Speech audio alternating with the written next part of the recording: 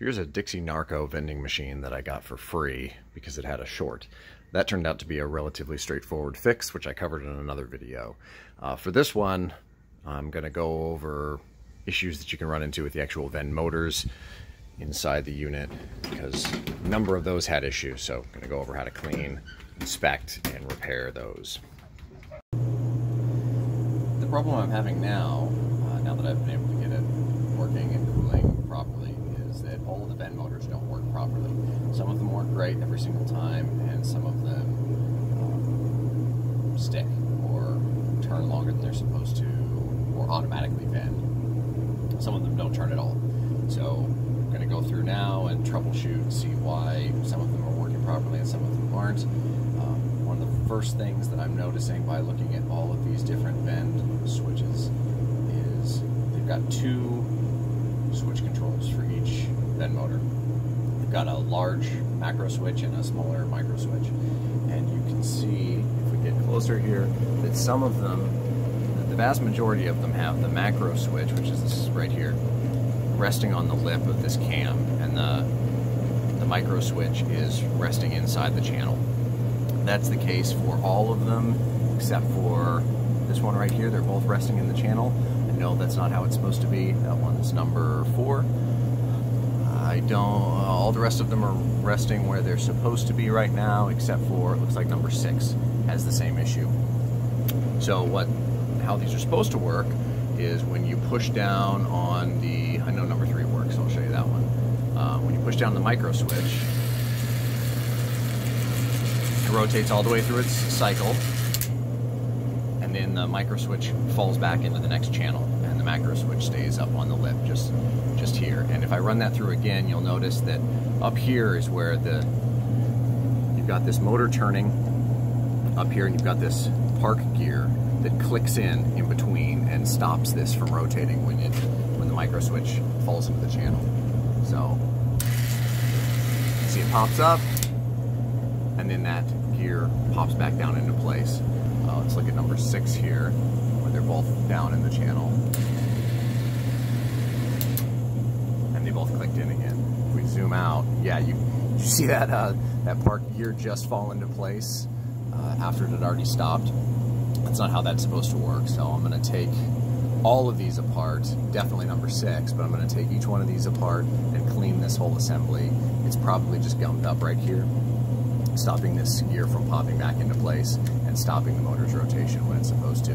But before I do that, I'll show you that I've got a couple others that are really screwed up. Like I think number eight, number eight doesn't do anything. There's a problem. Number nine,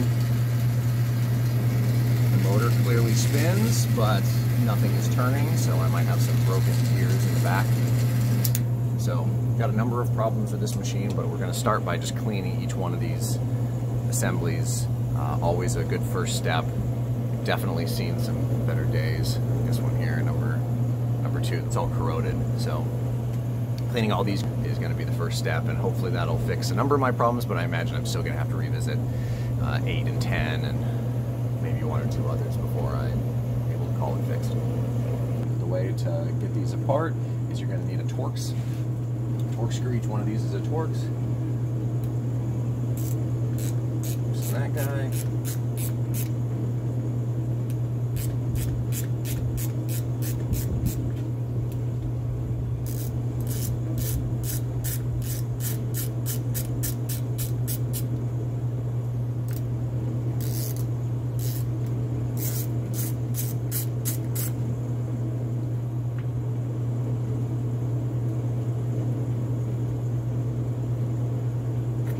Get these two out.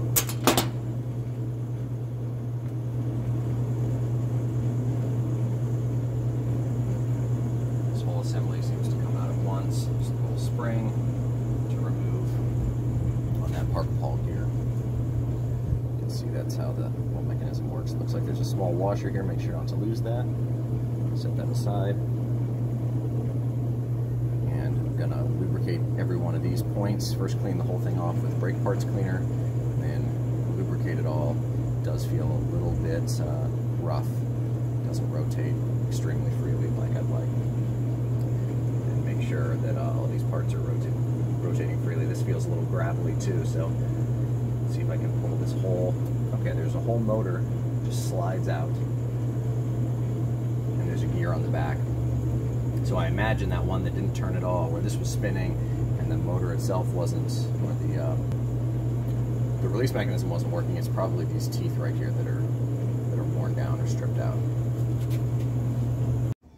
Here's the motor brake assembly off the machine. I've got it on a lint-free rag. There aren't too many pieces to this. You've got the, the brake here and a little brass ferrule that it rides on with the spring, which is captured right there so you don't have to worry too much about losing that.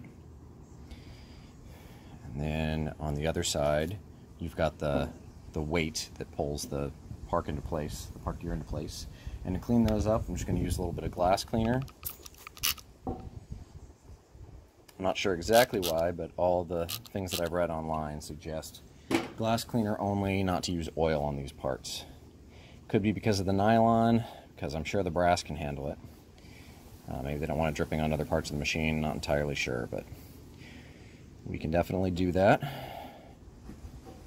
And it comes pretty clean, pretty quickly. Now this piece is captured, this brass piece right here. So that one, you just have to kind of clean by getting the glass cleaner in there and rotating it around really well. But it already feels like it's moving much more easily than it was before. This piece, you can take it off completely, make sure that any um, residue is gone. Sometimes these will get a little bit of buildup, but that's already nice and clean, no rough spots, nothing that my fingernail catches on when I drag it across the surface, so I think we're good there. Clean the inside of this really quickly. Just make sure there's nothing in there either. All right, good to go. Now for reassembly, by the way, I kept the screws with this because it helps to align everything and hold it together. So for reassembly, there's two sides to this gear. There's this side and this side, which has a few more channels and passageways in it. This is the side that you want going down just like that. And this brass piece goes right inside. For the weight, put it on this way. Now make sure that you put this, there's a little tooth at the end right here, and you're going to want to put it right in that slot right there so that these two move together. So when this weight weighted arm pulls down, it'll pull uh, the weight of it will pull that gear into place and it'll park the motor. And now you're ready to put it back together. I took this apart further just so that we could get a really close-up look on how exactly these vend motors work. Here's one that I've removed completely. Uh, it was actually pretty easy. There's only two bolts up top, one bolt at the bottom, and there's one, two, three connectors down here, and there's two connectors up top for the, the motor which looks like this. So the way this works is when that motor actuates, it spins this armature, which has a gear, gear teeth on the back side of it. Inside here, it's really hard to see. I don't think you're gonna be able to see it, but there are little gear teeth in there. This goes in, lines with those gear teeth, and what you'll see is when this spins, you watch the gray ring. As this spins, that gray ring moves ever so slowly. So this has to spin really fast to move that ring and actually vend sodas from the machine. So you can see it's moved a little bit, but that took a lot of turning. On the back side, this gray ring has a pin in it, and that pin fits into this slot right here. And when this spins, it's connected to this piece in here that's holding sodas and actually vends them out, just like that. So that's really the whole mechanism and the way it works. So that unit that I had, I believe it was on number eight, that wasn't turning at all. The top motor was spinning and the piece up here was spinning, but the gray cam wasn't moving at all. Either the armature teeth right here are stripped off or the, the gears inside this unit are stripped off. So now I'm gonna take, the, take this thing apart to see what those gears look like. I'm gonna flip it over. And we have to take this little pin out. Hopefully that just pulls right out. Yes, it does. Don't lose that. The thing won't work. And we've got Torx again on the bottom. Go ahead. It's going to be hard to do one-handed. Okay, I just removed all the screws. Now I can remove this back plate. go. Yeah, we've got a whole gear assembly in there. And right over here, this tiny little hole is where that armature comes in. So it engages with, with this gear right here. But if any of those teeth are broken, then you're going to get areas where uh, where the mechanism doesn't work or it won't vend, which is probably what I'll find on that other one that's not spinning. But this is what a functioning one is supposed to look like. Upon further inspection, this thing is just a grab bag of problems. Uh, we just cleaned out and inspected number two, so now it works properly. Stops immediately, and you get the macro switch still on the elevated portion of the cam. Number three, get a slow stop, so everything, uh, both switches fall into the, into the valley of the cam. So that one just needs to be clean. So number three is dirty. Number four, the top motor spins. It's dirty too. Top motor spins, but you can see the bottom. Ooh, it's just kind of weak. Or it only grabs in places, so this one's probably missing some teeth, and yeah, like I said, it's dirty. They both fall into the channel. But it's weak, needs new gears. Not sure exactly what's wrong with it. Probably gears on number four. Number five, dirty, both fall into the channel. Number six, dirty, both fall into the channel. Number seven. Oh, number seven had a nice clean stop, so that one's probably fine. I'll clean it anyway. Number eight. Number eight doesn't do anything, so I don't hear a buzzing. The top motor doesn't spin, so this thing has probably got an electrical problem. So, boy, we've got everything from dirty to gears to electrical problem. Number nine. Top motor spins. Bottom cam doesn't move at all, so probably another gear issue. And then number 10,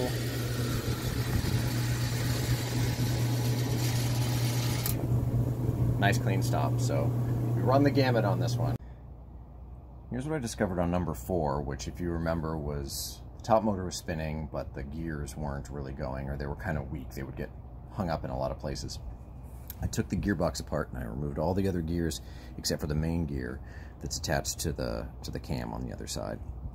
And what I found is, because none of the gear teeth were missing, so that wasn't the problem, uh, they all looked in pretty much perfect condition. What I found is you can hold this gear still and you can spin this cam and it will actually spin. There's a little bit of drag, but it will spin on the, on the shaft right here. And let me show you what I discovered here. I took this shaft and main gear out and then I drove the shaft out through the center and I found that it's just a steel shaft with splines grooved into it. And they look like they're in pretty decent shape. And then on the inside of this hub, I thought I was going to find some kind of gear mechanism, maybe a, a one-way clutch or something of that nature, but instead it's just a solid assembly. Just solid bushing that's part of the gear and you can see that it's completely smooth inside. So now what I suspect is that there were splines on the shaft here and there were splines on the inside and they were pressed together to always move as one unit. And over time, through a jam or something, um, this the splines in the shaft being a harder metal, this being steel, and this looking like aluminum on the inside of this gear uh, this was the weaker metal and it just ground away so that this spun freely inside. So that is interesting, but it creates a bit of a dilemma because when you look at the entire gear assembly where this goes, there's not a lot of room to fix this. When you see, so the way it normally sits is right there. And there's this other gear right here. So everything's in there pretty tight, and then the top plate goes right flush on top. So there's no room for, if I were to put this back in, let's do it through the bottom.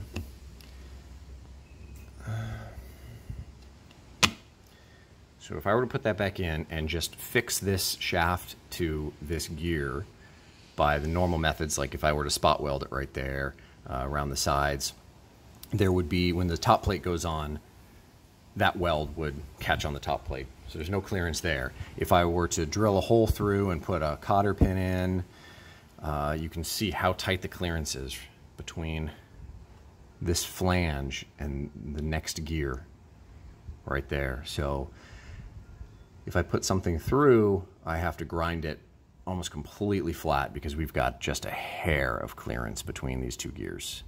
We're gonna use a drill.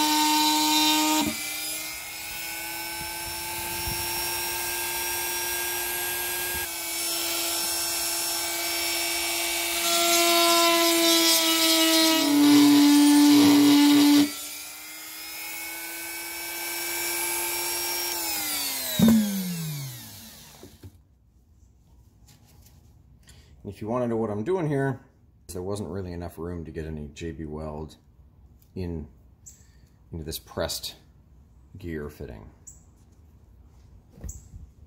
Nothing for it to hold onto. So now I've made three little channels that'll hold just enough. Basically, I'm just roughing up the surface and allowing a channel where some of the JB Weld can get in there and keep it from turning.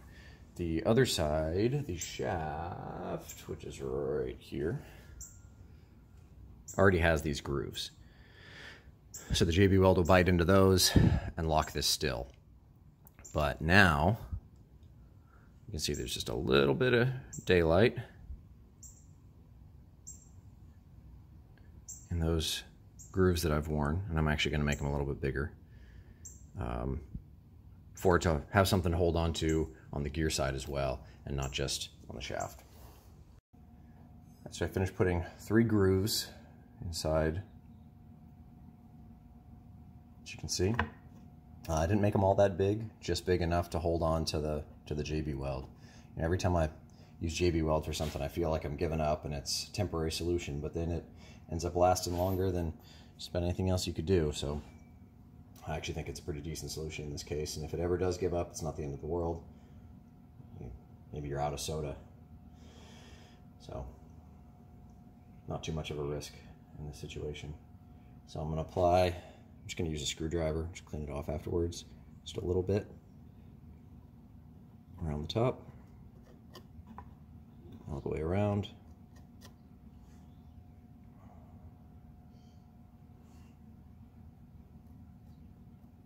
Like that. Now there's, uh, the splines are not exactly in the middle of this piece. The longer side goes down and I'm going to put a little bit more, make sure that it gets well into each one of those little splines that does exist, because that's what's going to hold it on to this central shaft. And those grooves that I cut are what's going to hold it on to the outer gear once it's driven back in place.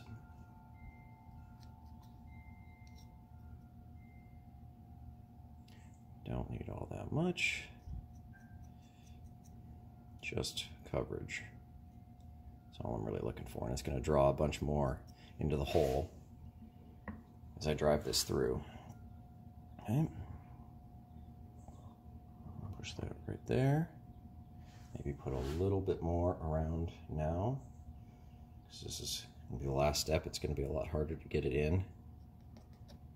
To add more once the central shaft has been driven into place.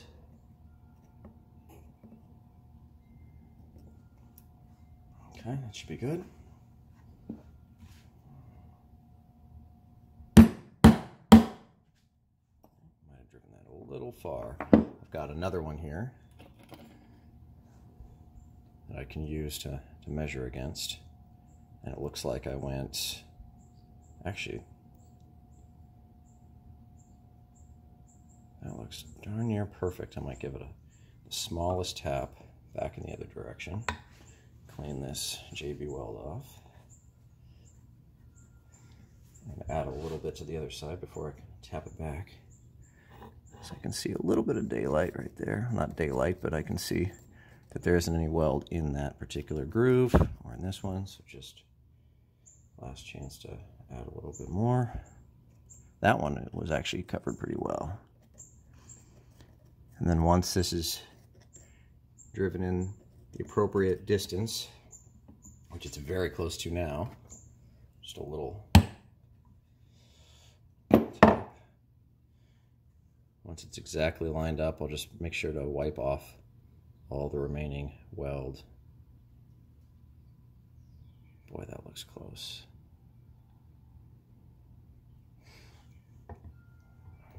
This is the way to tell right here. Yeah, I don't think you can do much better than that. I don't think the tolerances are quite that tight for it to make much of a difference at this point. So now,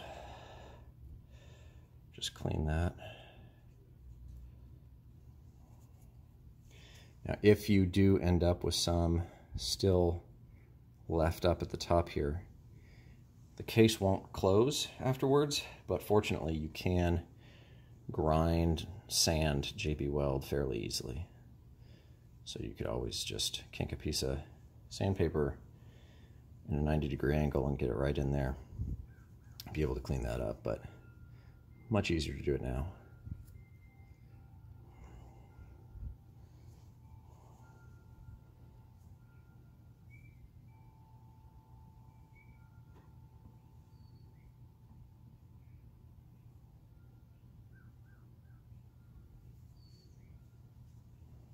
Okay.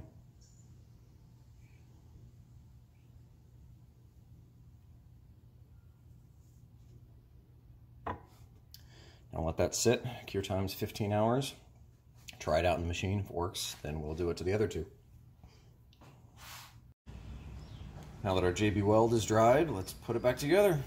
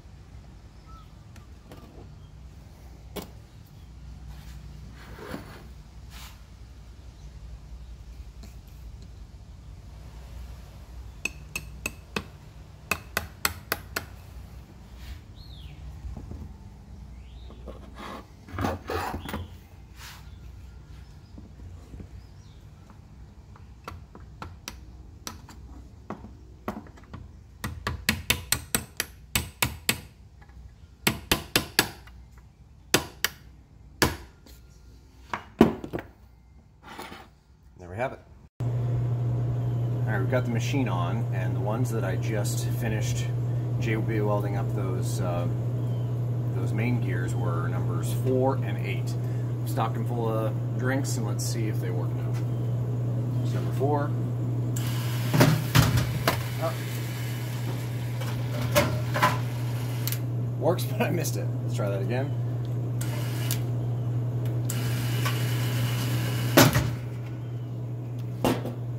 And number eight is right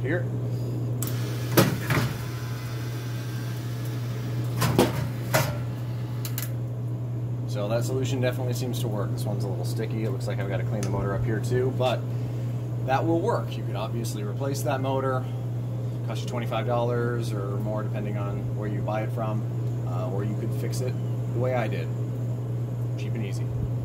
So now we're in a position where this whole machine has been fixed for free. Had to spend nothing on parts unless you count a little bit of a tube of JB Weld, so about six bucks.